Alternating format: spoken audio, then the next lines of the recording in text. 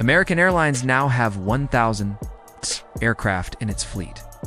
American Airlines is the only airline in the world to have 1,000 aircraft in its fleet. The company has been around for over 90 years, and it has grown to become one of the largest airlines in the world. American Airlines is a major player in the industry, and it's not showing any signs of slowing down.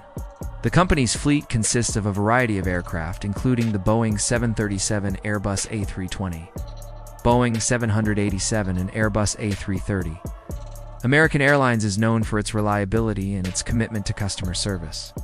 It's no surprise that the company has been able to grow to such a large size. As American Airlines continues to expand, it will be interesting to see what new aircraft it adds to its fleet. With over 1,000 planes, American Airlines is a major player in the airline industry. And with its commitment to innovation and customer service, the company is sure to remain a leader in the years to come. Thanks for watching, and see you next time.